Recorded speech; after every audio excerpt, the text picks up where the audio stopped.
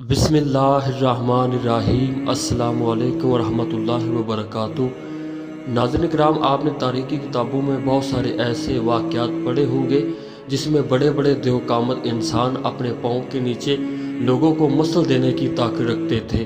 ایسے ہی تاریخی کتابوں میں ایک شخص کا تذکرہ ملتا ہے، جس کا نام اوج بن انک یا ابن سناک بتایا جاتا ہے۔ اس شخص کی عمر تین ہزار پانچ سو سال تھی۔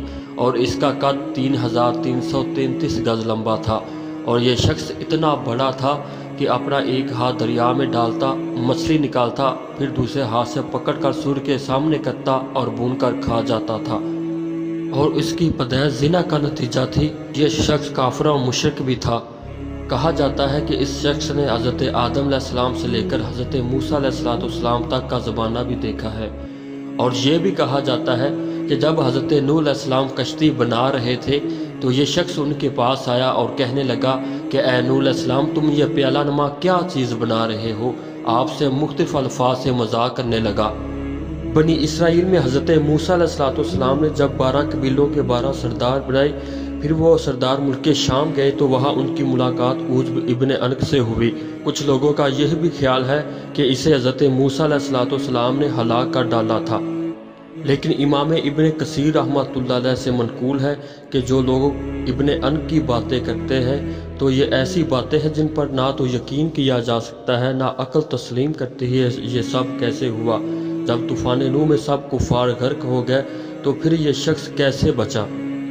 حضرت نو علیہ السلام کا بیٹا کنعان جو کہ مشرق تھا اور آپ کی ایک جو زوجہ جو کہ ظاہری طور پر تو مسلمان تھی، لیکن وہ کافروں کی حمایت کرتی تھی۔ وہ بھی اسی طوفان میں ہلاک ہو گئے۔ وہ آپ کے گھر والے تھے، لیکن یہ شخص کافر و مشرق ہونے کے باوجود اور اللہ تعالیٰ کے نبی کو مذاق کرنے والا کیسے زندہ بچ گیا؟ پھر اللہ تعالیٰ نے فرما دیا سما اغرق نل ہم نے سب کو غرق کر دیا، سب کو ہلاک کر ڈالا۔ پھر یہ شخص کیسے زندہ بچا؟ اور دوسری بات جو اس کے لمبا ہونے کے حوالے سے کی جاتی ہے، تو نبی کریم صلی اللہ تعالیٰ علیہ وآلہ وسلم نے ارشاد فرمایا کہ حضرت آدم علیہ السلام کے بعد جو بھی آدمی آیا، اس کے قد میں کمی ہوتی گی اور یہ سلسلہ آخر تک جاری رہے گا۔ پھر یہ شخص اتنا قد آور لمبا کہاں سے آ گیا؟ حالانکہ حضرت آدم علیہ السلام کا قدم مبارک ساٹھ ہاتھ تھا، تو پھر یہ کیسے ہو سکتا ہے؟ حضرت آدم علیہ السلام جو کہ ہمارے باپ ہیں، ان کی عمر اور قد کم ہو، لیکن ان کی اولاد کی عمر اور قد ان سے زیادہ ہو جائے، ان سے بڑھ جائے۔